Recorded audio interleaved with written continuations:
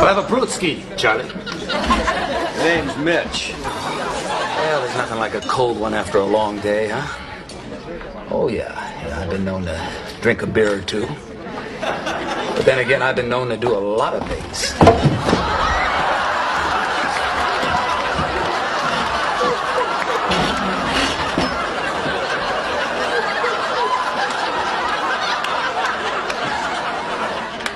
Cigarette? No, no, I never touch them. Well, I suck them down like Coca Cola. well, here's to feeling good all the time. Huh?